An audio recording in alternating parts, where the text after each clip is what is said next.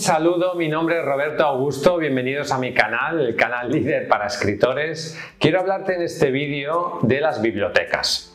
Ha habido en internet ciertas polémicas por parte de algunos escritores conocidos quejándose de las bibliotecas, quejándose de que las, bibliotecas compran sus libros, prestan sus libros a los eh, usuarios de esas bibliotecas y que los autores no cobran por esos préstamos. Tengo que decirte que personalmente soy un firme defensor de las bibliotecas y creo que las bibliotecas hacen una labor social y cultural absolutamente extraordinaria. Yo he crecido en una biblioteca, o sea, cuando era pequeño me pasaba todo el día en las bibliotecas. Yo no estaría aquí sin una biblioteca, seguramente. O sea, a mí las bibliotecas me lo han dado todo y considero que es una infraestructura cultural fundamental que tiene que ser defendida y ayudada absolutamente. Por lo tanto, yo jamás me atrevería a criticar a las bibliotecas por el hecho de que prestan libros y los autores no cobran. Sí que estoy a favor de que los autores pudieran recibir algún tipo de, compensación. Si alguien compra tu libro y ese libro se presta 100 veces, quizás el gobierno por cada préstamo podría darte algo, algo de dinero. Podría haber alguna clase de compensación por parte de, las bibliotecas a los escritores, sobre todo a los escritores cuyos libros se prestan más. No es lo mismo que tu libro esté en la biblioteca y no lo coja nadie, que tu libro esté en la biblioteca y lo cojan miles de personas o cientos de personas. Eso es absolutamente diferente. Entonces, sí que me parecería justo una compensación, pero en ningún caso criminalizar a las bibliotecas. O sea, lo que hacen las bibliotecas se tiene que permitir y es absolutamente bueno para los escritores. En primer lugar, hacen una función absolutamente básica en la sociedad. Hay muchas personas que no tienen el dinero para poder gastarse 20 o 30 euros en un libro, en papel o no tienen un Kindle o no leen en ebook o lo que sea. Y por lo tanto van a la biblioteca con un carnet, además en España es gratis, hay países en los que hay que pagar por tener carnet de biblioteca, por ejemplo en Alemania, pero en España es gratis y cualquier persona se puede hacer un carnet de biblioteca, ir allí y tener acceso a miles y miles de libros. Por lo tanto, a mí eso me parece absolutamente extraordinario y creo que cumple una función social fundamental que hay que preservar. Además, creo que los préstamos que hay en las bibliotecas tienen un poco impacto en las ventas de un libro. Los usuarios de bibliotecas generalmente no son personas que compran libros, o sí, pero quiero decir, el que, el que coge el libro en la biblioteca lo más probable es que no te lo hubiera comprado si no hubiera estado en la biblioteca.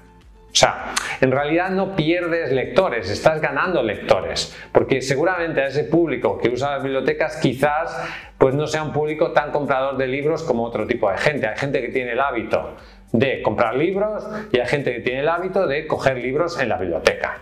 También es verdad que en las bibliotecas no suele estar lo más nuevo, o sea, el último libro que acaba de salir, el libro de moda. No, ese libro igual tarda meses en llegar y si llega, pues igual hay una lista de espera de muchas personas que quieren cogerlo. Y si tú quieres ya tener el libro en cuanto acaba de salir, pues te lo compras y ya está.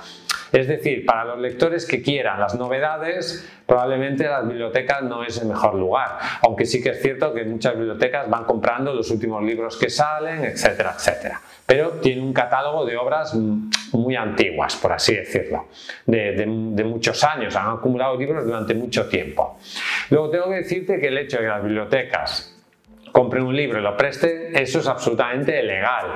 Está en la ley de derechos de autor y por lo tanto desde un punto de, desde un punto de vista legal no hay nada que objetar. También las bibliotecas sirven para descubrir a nuevos autores. Muchos autores que quieren hacer su nombre y llegar al público, lo que hacen es regalar sus libros a las bibliotecas.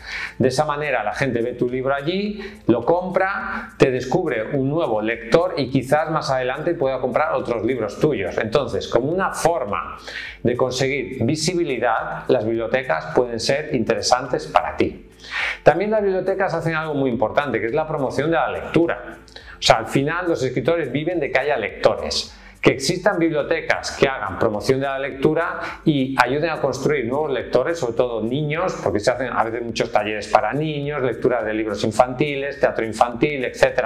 O sea, actividades destinadas a llevar a los niños a la biblioteca e iniciarlos en el hábito de la lectura. Eso es algo, algo, absolutamente bueno que están construyendo los lectores del futuro y por lo tanto en ese sentido las bibliotecas hacen una labor social que es muy útil para todos los escritores.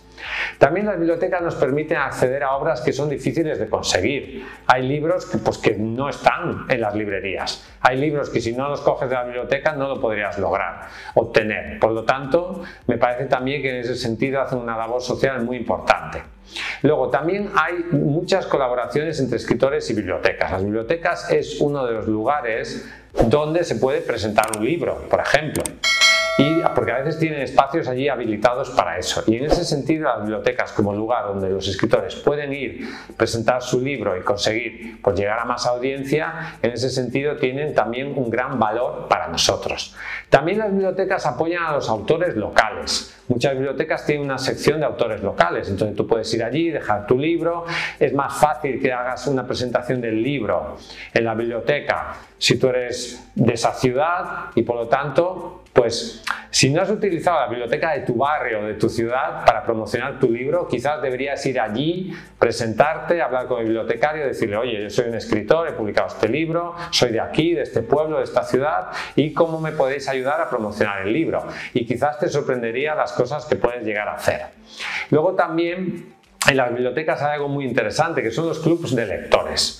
Si tú eres un escritor local, una cosa que podrías hacer es sugerir al club de lectores local que lean tu libro y luego tú puedes ir allí y eh, hablar pues, con lectores de tu obra. Hay muchos clubes de, de lectores en muchísimas bibliotecas y por lo tanto tú puedes ayudarte de esos clubs para lograr llegar a más audiencia. Por lo tanto, las bibliotecas no son enemigas de los escritores, sino todo lo contrario, son nuestros mejores aliados. Es absolutamente positivo que nos ayuden a difundir nuestros libros, que ayuden a difundir la literatura, la lectura y es algo que no nos perjudica como escritores, sino que nos beneficia y nos ayuda. Por lo tanto, como estrategia de marketing, te recomiendo ir a la biblioteca local de tu barrio, de tu ciudad y ver qué puedes hacer allí, si hay un club de lectores, si puedes montar una presentación, si puedes regalar tu libro, ver qué puedes hacer para conseguir difundir más tu obra.